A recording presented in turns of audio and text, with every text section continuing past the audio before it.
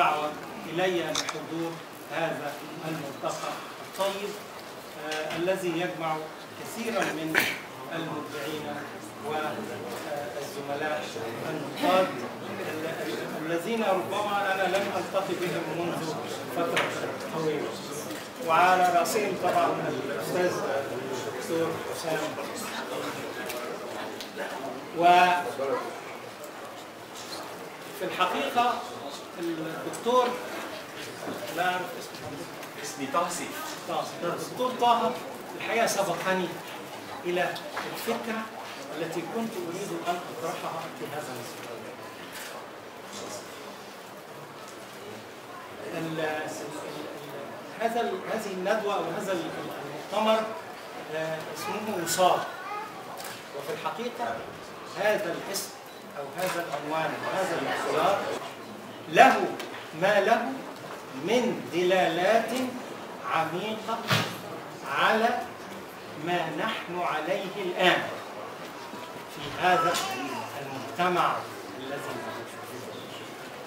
نحن الآن كما تفضل الدكتور نحن الآن في هذا في هذه في هذا العام المثقف أين يقف المثقف الآن. المثقف والساحة الثقافية الحركة الثقافية في هذا المجتمع يعني لا أريد أن أقول إنها مقيدة بأغلال قوية. ربما هذه الأغلال هذه القيود هي التي تمنع تمنع أن يكون أن تكون الحركة حرة. الحركة الثقافية لابد أن تكون حركة حرة. كيف يتسنى لها أن تأخذ أو تنتزع هذه الحرية لكي تنطلق؟ نحن مقيدون.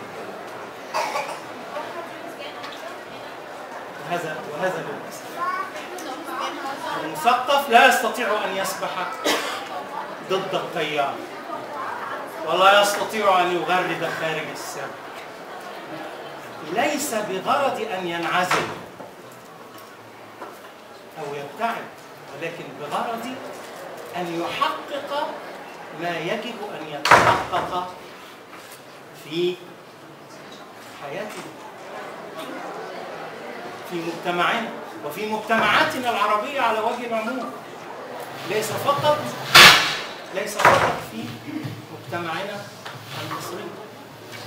المجتمعات العربية وجه فيعني أرجو أن يكون هذا العنوان الذي اخترته الأديبة آه، اللي هو وصال. أرجو أن يكون أملا. يمكن أن نلتف حوله وأن نحاول أن نحقق هذا المعنى أن نحقق هذا الهدف الذي نسعى إليه وعلى وطبعا المثقف له الدور الأساس والدور الأول والرائد في هذا الاتجاه. يجب ألا يكون المثقف بمعزل عن الحياة التي يعيش فيها. في قاعات مغلقة وندوات لا يسمع عنها شيئا؟ يجب أن يكون مرآة لهذا المجتمع. يجب أن يكون قائدا المثقف. يجب أن يكون ربانا لهذه السفينة. التي تخوض بنا